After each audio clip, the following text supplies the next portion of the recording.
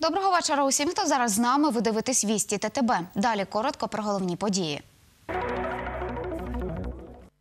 Середній рівень зарплати на Тернопільщині на передостанньому місці в Україні.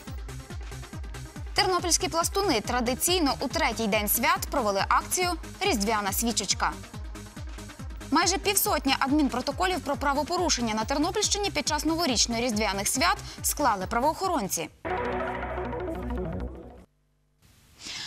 Середній рівень заробітної плати на Тернопільщині на передостанньому місці в Україні.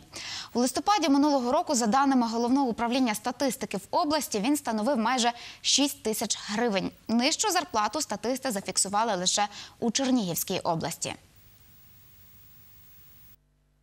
На Тернопільщині майже відсутнє промислове виробництво. Саме це головна причина такого низького рівня зарплати, каже доктор економічних наук Михайло Лучко. Інша причина вважає професор висока офіційна зарплатня для тернополян невигідна, адже багато людей можуть втратити субсидії. Тернопільська область впродовж усього усієї незалежності України була областю депресивною, тобто дотаційною, і, як правило, надходило сюди дуже великі фінансування із державного бюджету. Основна причина цього, що в Тернопільській області відсутнє промислове, практично відсутнє промислове виробництво. Друга причина це лежить в е, більш в площині психологічній, і я би сказав, навіть у ментальній.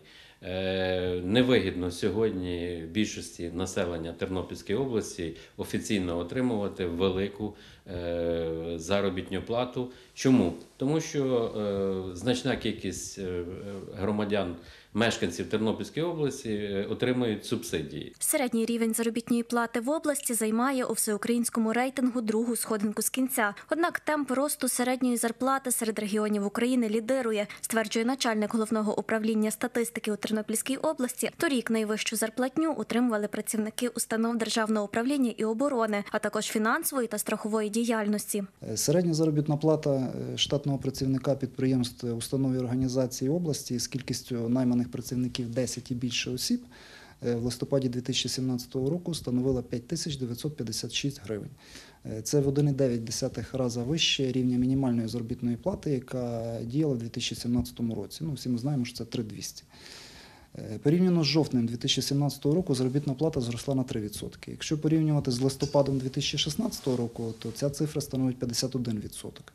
І слід зазначити, що це є найвищий е, темп росту серед регіонів України. Ми запитали тернополян, чи задоволені вони своєю заробітною платою, та наскільки важко на Тернопільщині знайти високооплачувану роботу. Напевно, що за рахунок того, що в нас немає стільки робочих місць, ну я знаю.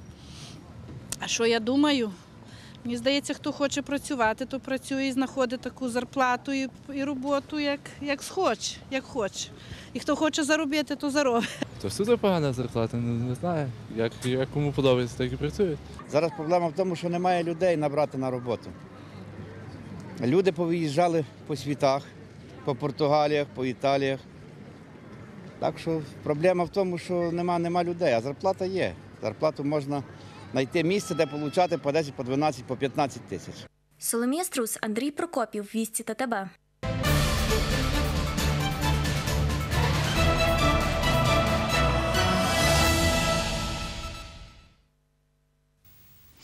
З Тернополя в зону АТО вирушили 30 співробітників Тернопільського обласного управління СБУ для виконання спеціальних завдань. На ротацію бійців проводили члени їх сімей, друзі та колеги, а також представники влади. Це вже шоста ротація співробітників Служби безпеки України.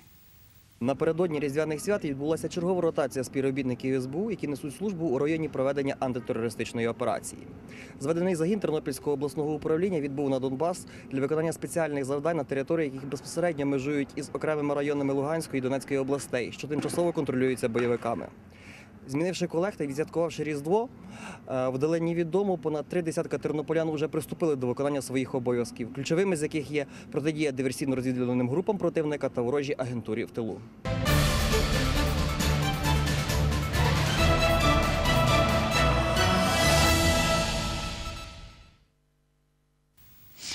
І далі переходимо до теми святкування Різдва на Тернопільщині.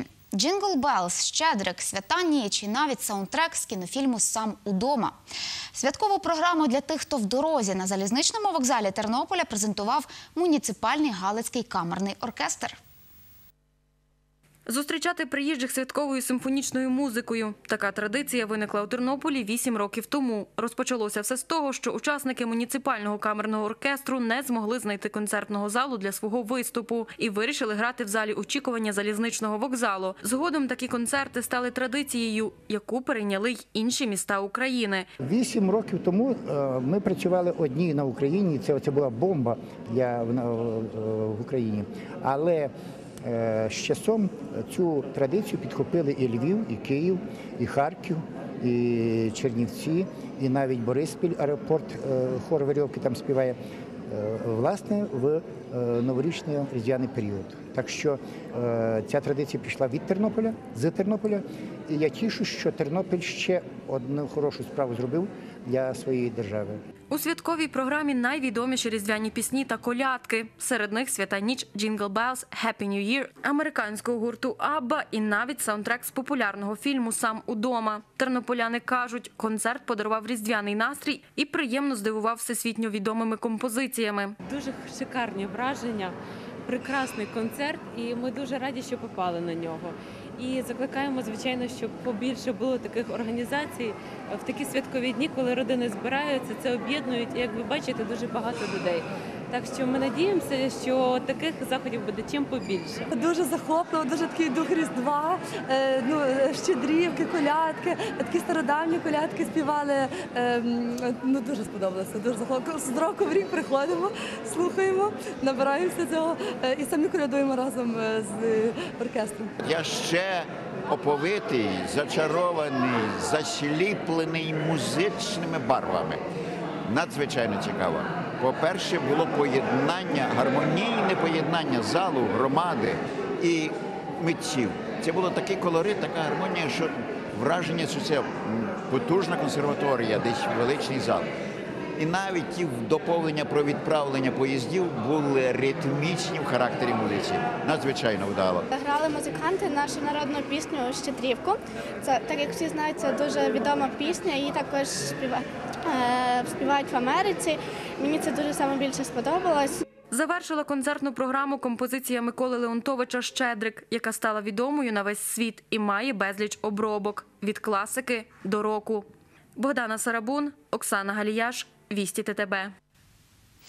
Конкурси вертеп, коляда і вифлеємський вогонь миру. Тернопільські пластуни традиційно у третій день свят провели акцію Різдвяна свічечка. На заході побувала моя колега Богдана Сарабун.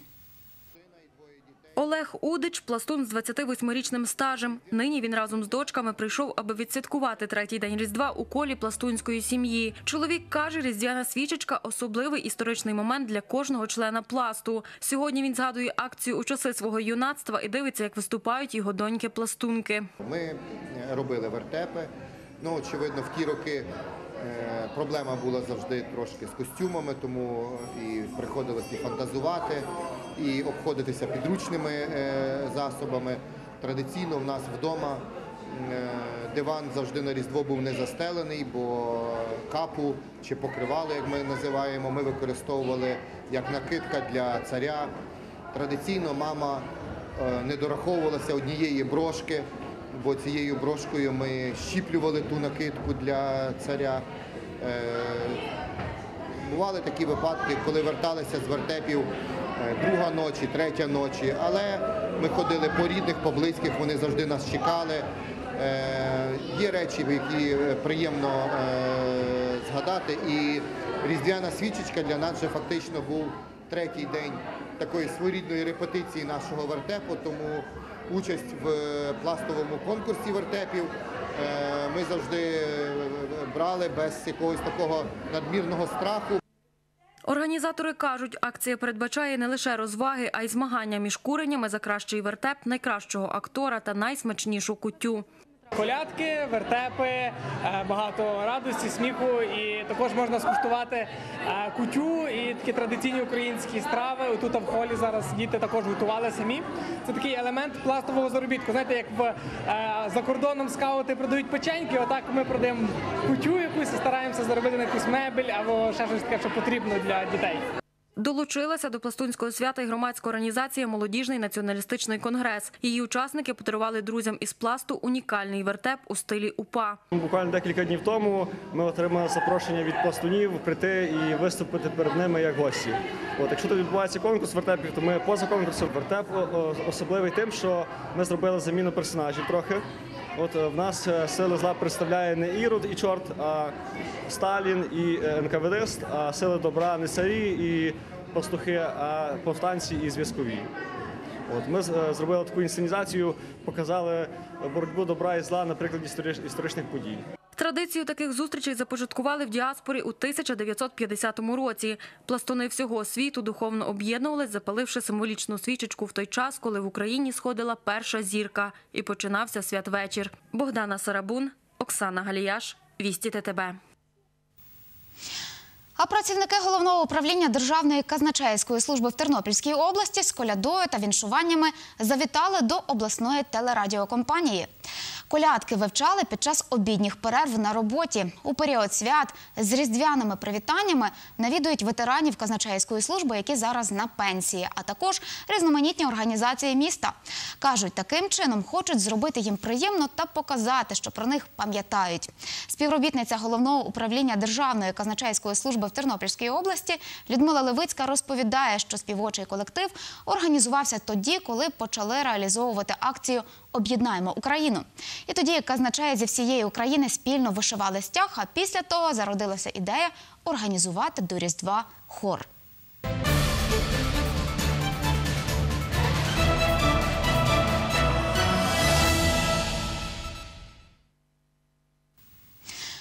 Період новорічно-різдвяних свят не обійшлося без правопорушень. З 31 грудня до 8 січня поліціянти спільно із нацгвардійцями склали майже півсотні адмінпротоколів.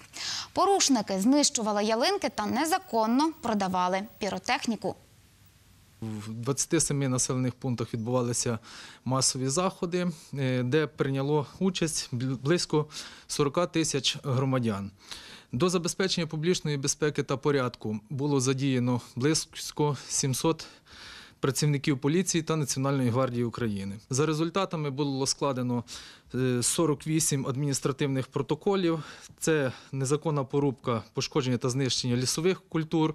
Також е, до 40 осіб е, було притягнуто за незаконну торгівлю піротехнічними засобами. В загальному за період новорічно-різдвяних свят в нас е, сталося 13 дорожньо-транспортних е, пригод з потерпілими, в яких двоє людей загинули. Е, Загалом свята пройшли, на нашу думку, в нормальному, спокійному режимі. Порушень грубих публічної безпеки і порядку допущено не було.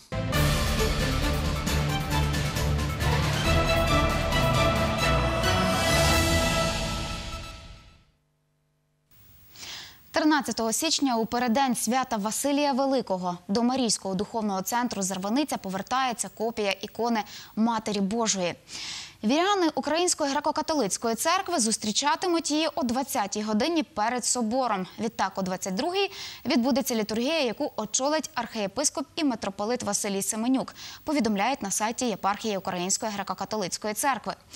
Ікона кілька місяців перебувала в різних храмах Європи після того, як 15 жовтня минулого року у Ватикані Папа Римський благословив корони для святині. Це кажуть у прес-службі єпархії Української греко-католицької церкви стало актом чергового визнання ікони у католицькому світі та потвердженням чудодійної сили. І на цьому у мене все. Всім бажаю гарного вечора, а головне мирного і сонячного неба. Побачимось.